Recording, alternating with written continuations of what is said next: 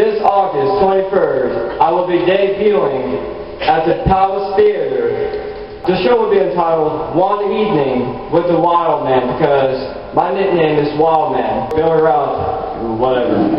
Okay, um, uh, kind of an album for Star, and um, that's all I can say. Oh yes, like me on Facebook at www.facebook.com slash Rafael R. Soriano Music. For more details or anything, you can ask me or go by my uh, fan page if necessary. Thank you.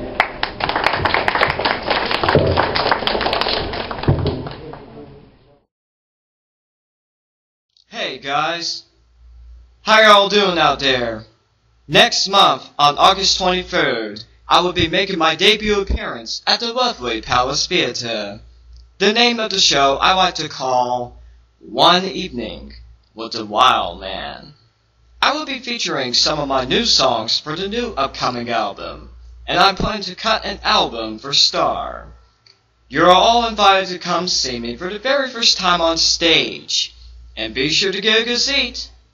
General admission, which are tickets of course, is $5 for adults and teens, and kids 12 and under are free.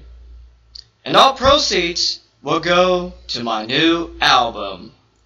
The doors open at 6 p.m. and the show starts at 7 p.m.